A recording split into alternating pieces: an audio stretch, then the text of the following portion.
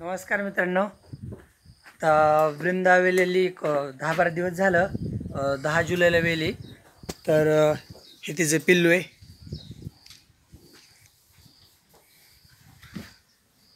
तर हे बैल आहे. आणि इकडं वृंदा आहे. मागच्या वेळेत आपण बघितलं होतं यांनी कास केली होती. तर ती आता दहा बारा दिवस झाले वेलेली पण. पहिले आठ दिवस पिल्लू इथंच ह्या कडीला बांधलं होतं. नंतर पलीकडे नेलं ते सारखंच दूध प्यायला लागलं.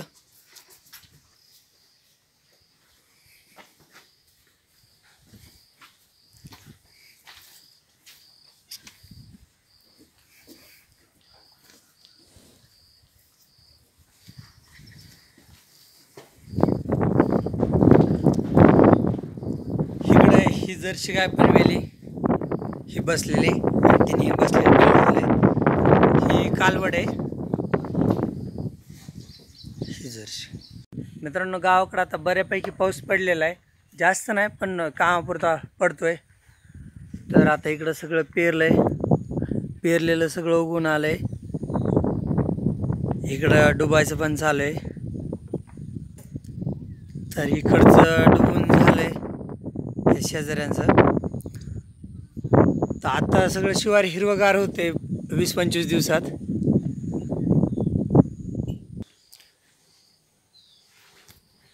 मी सकाळी खायला टाकून घेतलं होतं गायला नेपेर घास. आता संध्याकाळच्यासाठी कडवळ जाऊन आणतो. आता पाऊस येतोय त्याच्यामुळे लवकरच आणावं लागते पाऊस आला तर परत चिखल होतोय. आणायला त्रास होतोय. आपले विजय आणि चिमण्या इकडं पाऊस येतो या वरच्या शेडमध्ये बांधले होते. इकडं लय मोठी रिकामी बी जागा आहे. खाली थोडं वरलाकडची बाजू उघडी त्याच्यामुळं थोडा पाऊस येतो. त्याच्यामुळं ह्यांना इकडं बांधले मी आता कडवाळची गाडी भरून आणली. आता इथं घास कापलाय.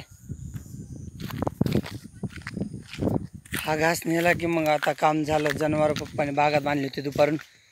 ते जनावर आणायचे. मग आजचं काम झालं. आपले मुळे आता मोठाले झालेत. आणखीन काढायला नाही आले. पंधरा वीस दिवस लागतील काढायला.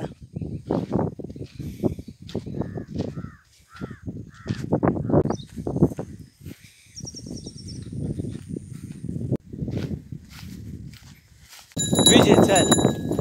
राणी चल. देवशेणी देवशेणी चल.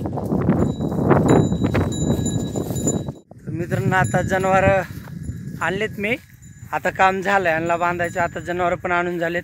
ही किल्लर गँग पाठीमागे दिसते ती राहिली होती. आणि बैल राहिले होते. मग आता आज दिवसभराचं काम झालं. फक्त जनावरं सांभाळले आज.